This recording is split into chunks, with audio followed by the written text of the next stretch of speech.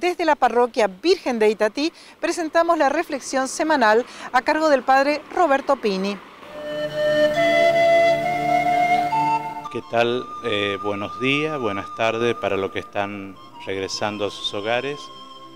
Este fin de semana quiero compartir con vos y hacer memoria, sobre todo recordar de que estamos en el año de la misericordia, año que ha sido convocado por el Papa Francisco y que tuvo su apertura el día 8 de diciembre y que ya estamos transitando casi en la mitad de lo que es el año de la misericordia.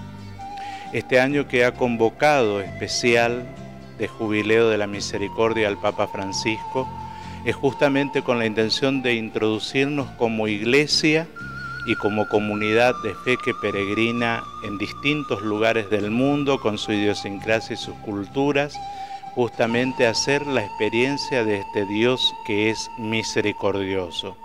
Por eso el lema del jubileo de la misericordia es sean misericordiosos como es el Padre de ustedes, tomado del Evangelio de Luca. La finalidad de este año extraordinario de la misericordia, como le decía, era que todos hagamos experiencia justamente del amor misericordioso del Padre, ese Padre que nos reveló en Jesucristo la misericordia. Si nosotros queremos descubrir y contemplar justamente la misericordia de Dios, tenemos que contemplar el rostro de Cristo porque Él es la revelación plena del rostro misericordioso de Dios el año de la misericordia tiene también sus medios para que nosotros vivamos y profundicemos, como son las peregrinaciones, las indulgencias, la visita a los lugares santos y las obras de misericordia tanto corporales y espirituales. Recordemos lo que decía San Jerónimo respecto a los lugares de peregrinación, que muchas veces nosotros buscamos más bien cosas fáciles para nuestra salvación. San Jerónimo decía, no son los lugares santos lo que salvan a las personas, sino son las obras santas.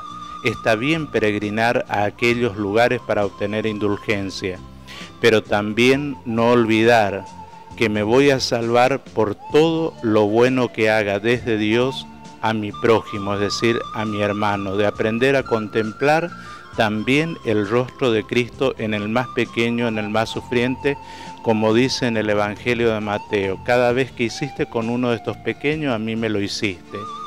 Vengan bendito mi Padre, porque a mí me diste de beber, a mí me diste de comer, a mí me alojaste, a mí me vestiste y a mí me visitaste.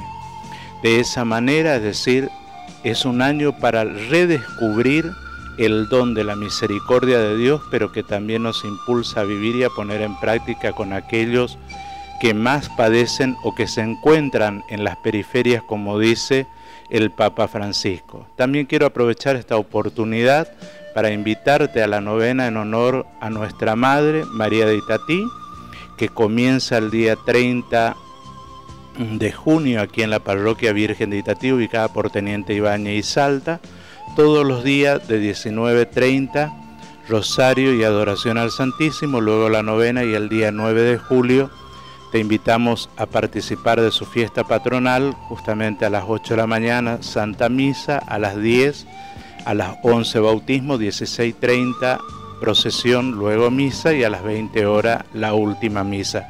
Como así también el día 16 tendremos lo mismo, ya que ese día conmemoramos un año más de su coronación pontificia como reina y señora de todos estos lugares. Que Dios te bendiga, que tenga una buena semana. En nombre del Padre, del Hijo y del Espíritu Santo. Amén.